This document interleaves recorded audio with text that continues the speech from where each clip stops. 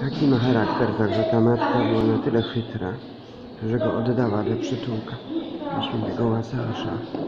Jakby piasecznie, bo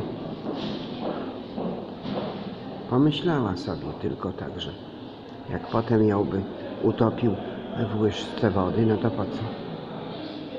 By go miała wychowywać, patrzeć się na niego i tak dalej.